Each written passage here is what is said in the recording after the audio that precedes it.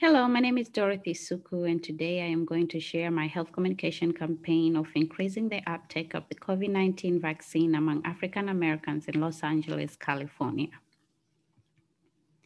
The primary audience of my campaign is African Americans uh, residing in Los Angeles County, California. And the goal of this health communication context is to lessen the hesitancy gap by 50% in COVID 19 vaccination among African Americans by summer 2022.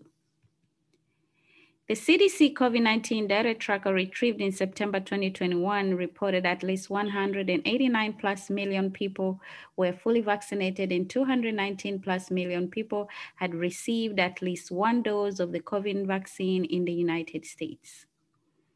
Although African Americans and other minority groups have been more affected by COVID 19 infection with severe illness and death than non Hispanic white, only 10.2% of Black or African Americans were fully vaccinated compared to 16.7% of Hispanic uh, or Latino and 61.2% of white in America.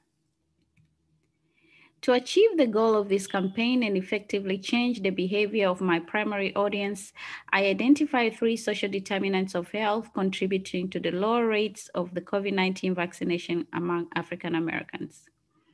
First was social and community context due to discrimination and past unethical research, such as the Tuskegee study performed on people of color in the United States. The second was the lack of COVID 19 vaccine education among the African American community. The CMB model describes both discrimination and education as psychological capacity. The third social determinant of health was transportation as a structural barrier to accessing vaccines in, primary, uh, in primarily underserved Black communities. The CMB model categorized transportation as a physical opportunity. My campaign will utilize Black celebrities or influencers advocacy on social media such as Facebook, Instagram, YouTube, and TikTok to promote the COVID 19 vaccine on their pages, addressing the myth, safety, and efficacy, possible side effects, and mechanisms of COVID 19 vaccines.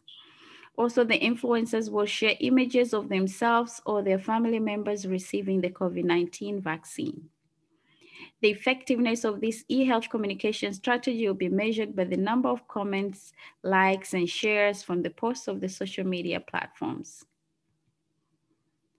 The campaign team will send out auto-generated text messages targeting the elder Black generation containing tailored COVID-19 vaccination education messages, reminders, and vaccination sites find, uh, finder links that will be measured by the number of text messages sent out.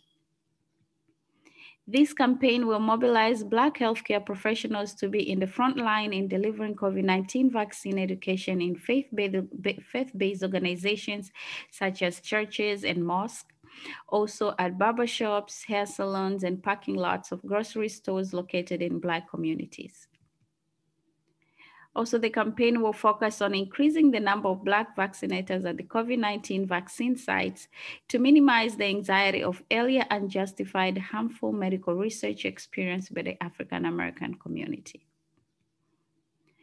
The three components I would use to evaluate the effectiveness of my campaign include recruitment, reach, and context. The recruitment procedure will be evaluated by the positive outcome from the influencer's social media and auto-generated text messaging strategies. Reach or participation rate will be determined by tracking the daily vaccination rates of African Americans in Los Angeles County. This campaign will be considered successful if there's an increase in the number of easily accessible vaccination sites and an increased percentage of fully vaccinated Blacks in Los Angeles County by summer 2022. This is the end of my campaign presentation and thank you for listening.